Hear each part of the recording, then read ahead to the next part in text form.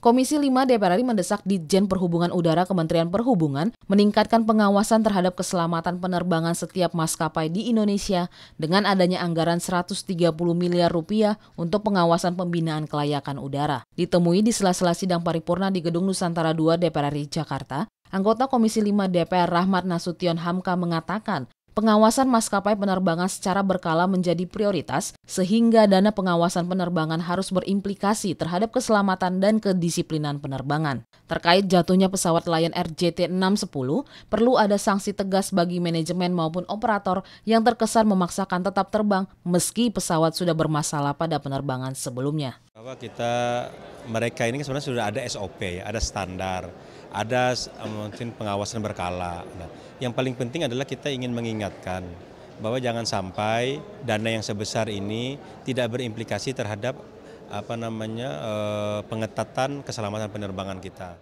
Sementara anggota Komisi 5 DPR RI Novita Wijayanti mengatakan, anggaran untuk pengawasan penerbangan sudah rasional, namun pemanfaatannya harus diaudit sudah sesuai ketentuan yang berlaku atau belum. Kita juga kalau perlu membuat uh, sanksi tegas supaya kejadian ini tidak terulang kembali. Karena banyak sekali maskapai dengan tarif yang rendah.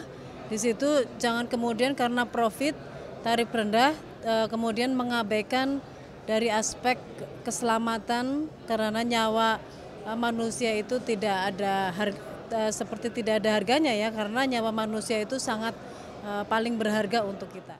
Mahir dan Edo TVR Parlemen melaporkan.